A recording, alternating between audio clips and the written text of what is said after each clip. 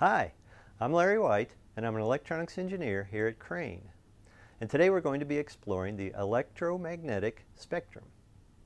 I work with a team here in the Spectrum Warfare Systems Department. And one of the things we do is test and design equipment that helps our ships find objects in the sky and on the ocean's surface. These objects can be anything from a jet airplane to a warship. It can even detect a flock of birds in the sky hundreds of kilometers away. We're able to do this by using a technology called radar. So what does radar mean? Radar is an abbreviation for radio detection and ranging. Ranging is the word that describes how near or far away something is. It's range.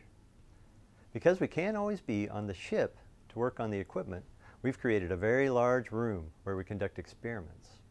This room behind me is called an anechoic chamber.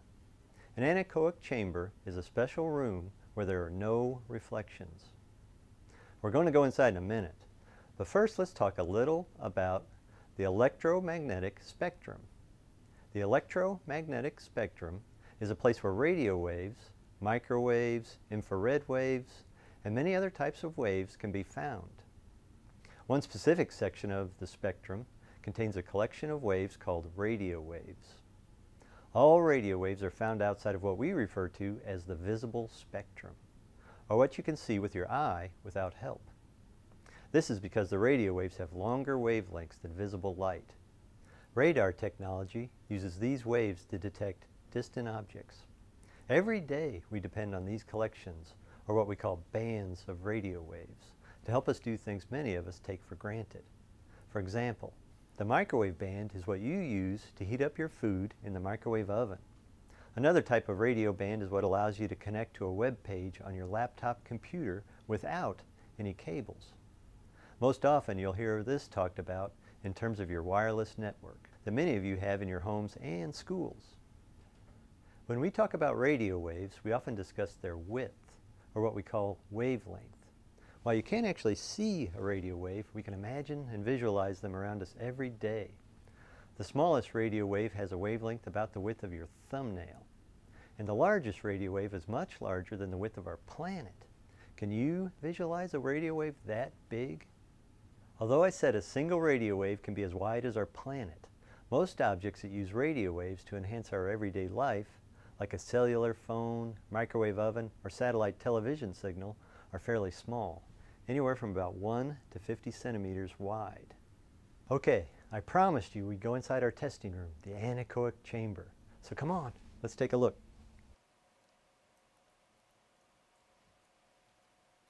So, here we are. Did you notice how the sound of my voice changed when we moved from outside to inside the anechoic chamber? We use the word anechoic to describe certain properties that this room has.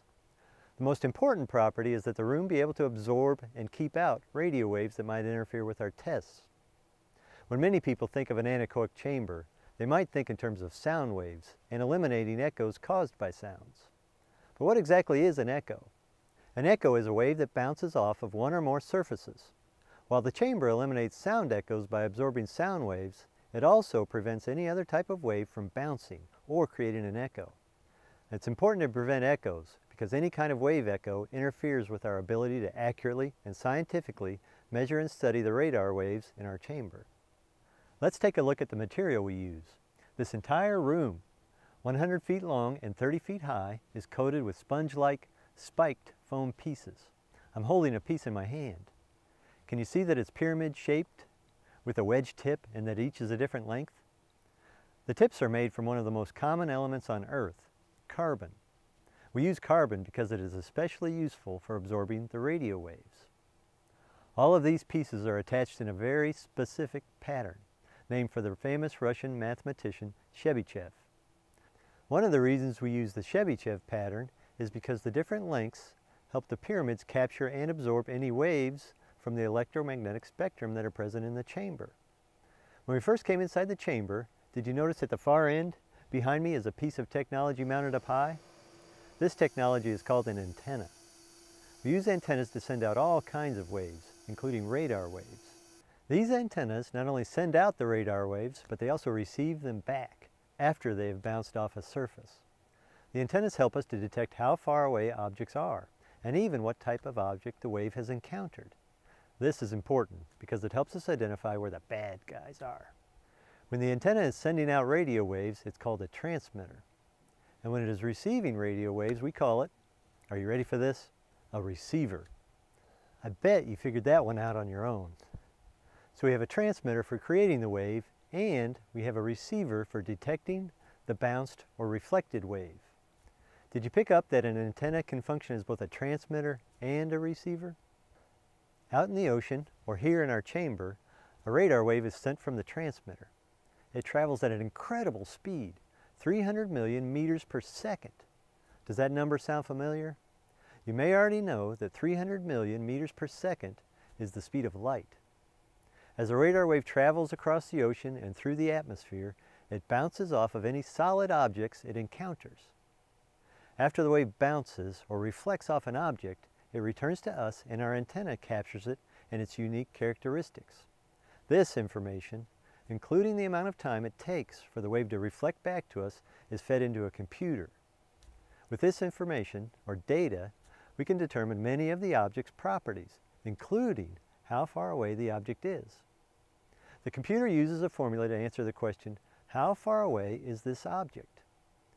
The formula is one that you can use in your classroom and is defined as distance is equal to the speed of the traveling radar wave multiplied by the amount of time it takes the wave to return to the receiver. Distance equals speed multiplied by time. You have to divide this total distance by 2 since the wave travels from the ship to the object and then back. Halfway represents the distance from the ship to the object. The computer stores information on all the objects it receives a bounce from. And by comparing a new radar wave with those that is already identified, it is able to make an accurate prediction about what the object is. Now that you know about radio waves, radar, wavelength, and echoes, I have a problem for everyone to work on. You might want to have a pencil and paper ready to write down some numbers. Suppose we are out on the ocean and our ship transmits a radar wave. This radar wave bounces off of a fighter jet far away and then the wave returns to the radio antenna or receiver on our ship. If the radar wave is traveling at 300 million meters per second and it took the radar wave 0.005 seconds total to reach the fighter jet, bounce off and return to our receiver on the ship, can you work together to determine how far away the fighter jet is? Take your time and I'll be back in just a moment to see how you did.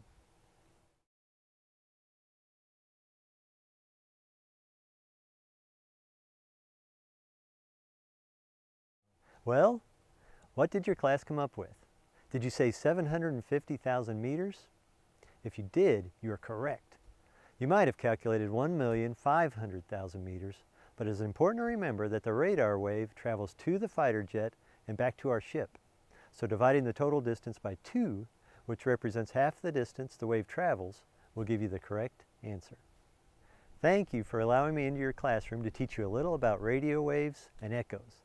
The next time you use your cell phone to send a text message or a microwave oven to make popcorn, stop and think for a moment about those radio waves and how they not only help make your life more convenient, but also remember how they help keep our country a safer place to live.